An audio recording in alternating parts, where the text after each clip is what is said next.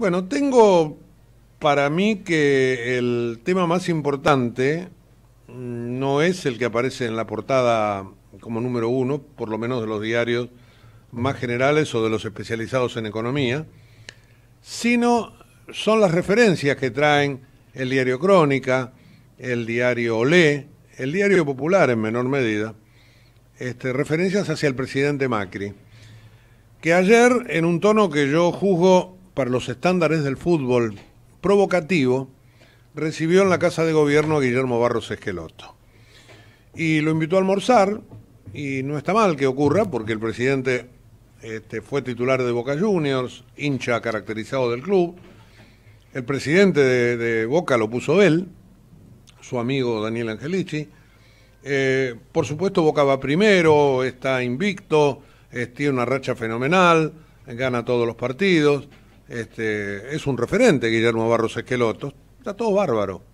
Lo que ocurre es que el presidente ayer eh, hace lo que en tenis, por ejemplo, se llama un error no forzado. Y que por ahí en, un idioma tribunero uno podría decir cometió una gilada. Invitarlo a Barros Esqueloto en medio del ruido que hay con River Plate este, es evidentemente una pifiada monumental, porque no ayuda para nada a calmar la situación. El fútbol en la Argentina es una pasión que evidentemente encuentra, desencuentra, mejor dicho, a las personas, tanto que, por ejemplo, el otro día el ministro Rogelio Frigerio en la cancha de River se tuvo que ir. Se tuvo que ir porque estaba toda la gente insultándolo al presidente Macri porque este, el arbitraje horrendo este, de Baliño eh, había predispuesto a los hinchas a pensar que era una mano negra. Y cuando se habla de una mano negra este, y se habla de Boca, se habla del presidente. Eh, por supuesto que uno no está justificando ni los insultos, la investidura presidencial debería ser cuidada de alguna manera, ni tampoco eh, toda esa demagogia barata del técnico Gallardo, que en todo caso debería explicar por qué está a 21 puntos del puntero y de esta manera, haciéndose el nervioso frente a las cámaras de televisión, este, sobreactúa una situación de, de victimización que verdaderamente le hace mal a River y en todo caso indispone también a los hinchas. En ese aspecto, los técnicos y los dirigentes, y estoy pensando en un tuit de Rodolfo Donofrio ayer, deberían ser los que tienen la cabeza más fría.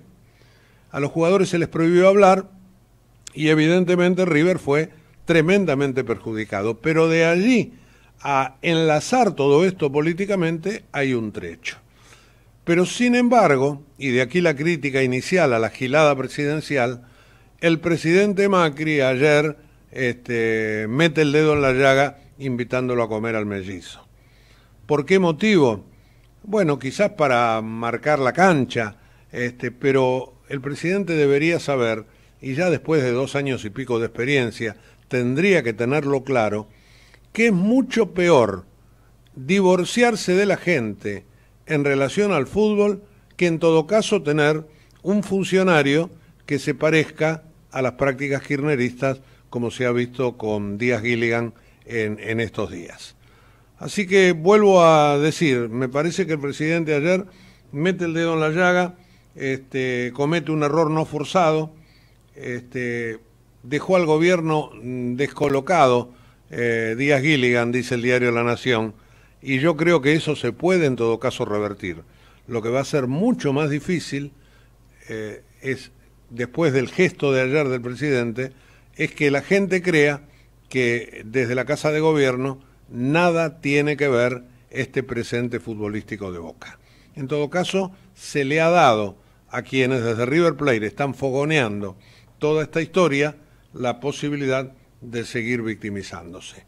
Y eso, evidentemente, es una gilada. Y en fútbol, a la corta o a la larga se paga. Y cuando hay un gobernante, en cuestión de imagen, tal como el fútbol pega en la Argentina, eso es mucho más difícil de revertir que tener un funcionario corrupto al lado.